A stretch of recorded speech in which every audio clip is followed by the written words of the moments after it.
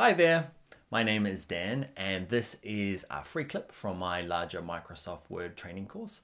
Check out the link in the description or go to bringyourownlaptop.com for more.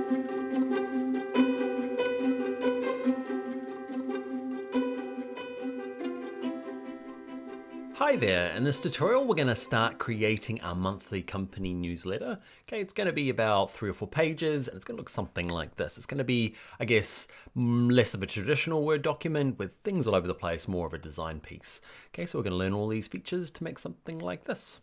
All right, let's go and do it.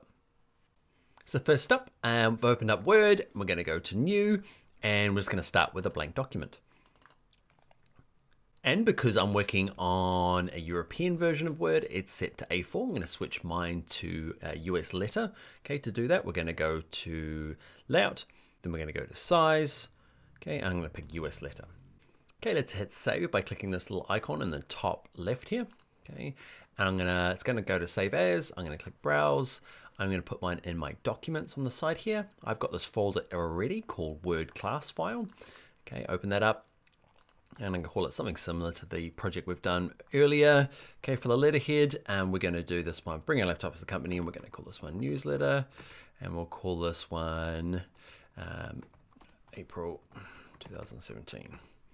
Okay, and V1 at the end, just so that we can keep versions. If we need to do any changes or any people come back with comments, we can, yeah, just use V1, V2, V3. Okay, let's hit save. Great. Next thing we need to do is we're going to work out our columns. Now this is the, this one here is my um, kind of finished version. So I want this kind of like, um, it's kind of like a three column layout where there's two straddled over here and there's one on the side. So uh, there's two ways to do it, and the way we're gonna do it, well, I'll show you the way that you could do it. It depends on the way you're gonna design. So um, we're gonna go to layout, go to this one that says columns, and there's this one in here, you can kind of see this little icon here, right? It's gonna kind of do what we want. You can see at the top here and the guides gives you an indication of these two. Um, a nice way to do as well, and a cool little shortcut is if you do equals and then do lorem, okay, spelt that way, and then to brackets, and inside of that put in say something like 50. It's going to put in uh, 50 paragraphs, something like that. So just after here, put in return, you can see it just fills in a bunch of what's called a lorem ipsum, just fake text. And I'm just showing you this. That's cool, put in placeholder text. Um, but it's also good just to show you the columns. Okay, so this is going to be, that would work for this if I didn't want to do this red box in the background. Okay, so it's going to be easier at the moment just to have one column and a big margin on the right. Okay, and then just put this in as a separate text box later on. So that's what I've done in this design. You can decide if you don't have this big red box and you just have text running down here, okay, it'd be perfect to use this columns right. Or of course there's a left option as well. Okay, so I'm going to undo that, undo that until, so I'm going to, see the undo options up here? I'm using Control Z on a PC, okay, I'm just um, getting back to so I've got just a regular full width. So there's a couple of things I want to do now is the columns, um, so um, I'm going to leave the columns as is. What I want to do is play around with the margins, okay?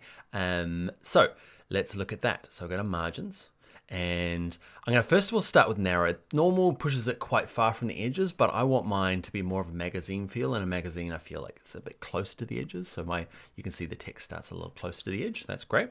So margin set to narrow. The next thing I like to do is actually I'd like to push this right hand margin right in here. Okay, and it's a couple of things you can do. Under margins, click custom margins. And I'm going to set mine on the right here to 3.3. Uh, the reason 3.3 just kind of splits it into three even columns, and I've played around with it before, so you might have to adjust yours as you're working. Okay, let's click OK. You can see my margins now going to be in here, so if I do my fancy uh, lorem,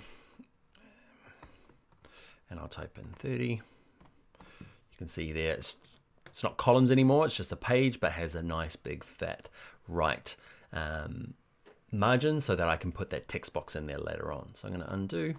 Great. All right, hit save.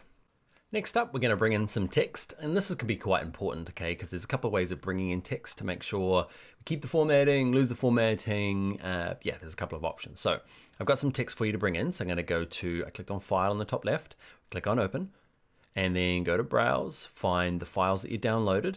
Okay, mine are on my desktop. If you haven't downloaded the exercise files, there'll be a link on the page here somewhere for them. Okay, and let's go to Word exercise files. There's one called O2 newsletter, and we're going to bring in this newsletter text page one. Click open. So I'm going to grab all of this, okay, and I'm going to copy it. So I'm going to go to up here where it says copy, and now I'm going to close it down. Okay, so we're going to bring in that text from that one. You might be copying and pasting from an email, from anything, okay, a PDF, um, the principles are the same. Now, I could just use my shortcut Control V to paste, okay, and it brings it through exactly as it was. And that's not what I want. I've, you know, there's lots of formatting going on in this, and I just want to get rid of it. So there's two options, uh, two extra options. So under paste here, this first one, Gives you, can you see I just hover above and it gives you like a little preview what it's going to do? Really handy, thank you Word. Okay, where it says keep source formatting, which is exactly how we did it. But then there's these other two. This one here is going to bring through things like the headings and you can see the italics is there and the bolds are there. So they're like the really plain basics, okay, which might be really handy if you've got a really long document and there are italics and bolds that need to remain. This could be option. For me though, I want to bring this last option, which is like a super clean, clear off everything and just plain old text. Okay, click the last option. Lovely. Um, yeah, so that is how to bring in text. We've got a couple of different options. Now let's look at bringing in some images. How'd you find that video? Was it good? Was it bad? If you liked it, go check out more of my courses on bringyourownlaptop.com.